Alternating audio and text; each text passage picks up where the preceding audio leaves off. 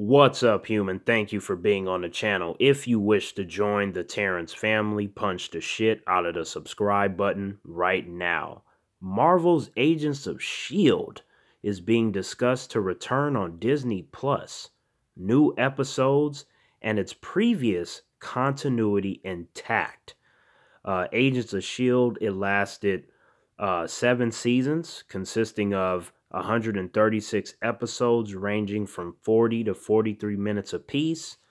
I enjoyed Agents of S.H.I.E.L.D. when it was on. I know a lot of humans didn't like Agents of S.H.I.E.L.D. They watched the show, then they fell off in this season, then they stopped and came back in season five and all this kind of stuff. And one of the biggest complaints that a lot of humans had uh, while Agents of S.H.I.E.L.D. was airing uh, was that it didn't have enough MCU guest stars. You know, it just didn't feel like it was in continuity with the MCU films. Um, you have uh, characters like um, uh, Nick Fury and uh, Lady Sif. You know, those are like the biggest ones that, you know, appeared on the show that were in the MCU films. But um, the first two seasons of Agents of S.H.I.E.L.D., you know, when they were doing the Hydra stuff and that led into Captain America, uh, The Winter Soldier, which is still one of the best comic book movies I've ever seen. Like after that, they kind of just started doing their own thing, and it just what was happening in the MCU films was of no consequence to uh, what was going on in, in Agents of Shield, and vice versa. You know, they might as well have been in two different universes, even though it's just like it's all connected. Like I guess it just didn't feel like it most of the time.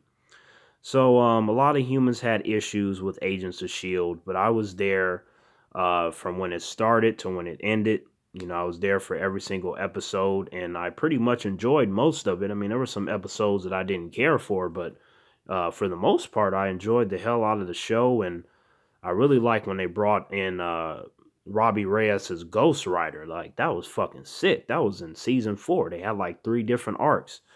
But yeah, I had a good time with uh, Agents of S.H.I.E.L.D. I love me some Quake. Oh my god, Quake is such a badass character played by the gorgeous Chloe Bennet. I think it was three weeks ago when I was stroking my dick to her, but that's neither here nor there.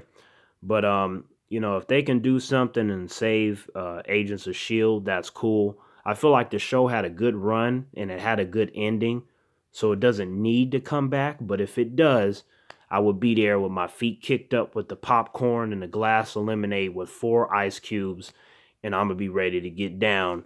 And um, I better see me some Quake, cause you can't do Agents of Shield and it ain't no Quake. You know, Quake gotta be there to fuck motherfuckers up, cause Quake's a badass, and I love that character. So we shall see what comes of Agents of Shield. Again, if we don't get any new episodes, I'm fine with that because the show lasted a long time. 136 episodes is a lot, especially in this day and age. Shit. Agents of S.H.I.E.L.D. had a good run thanks to Disney, you know, really backing the show financially. They didn't want the show to go under too quickly. They was like, yeah, we gonna make sure this lasts a cool minute. And it did.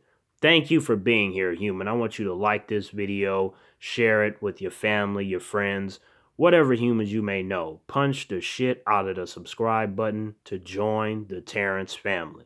Terrance out.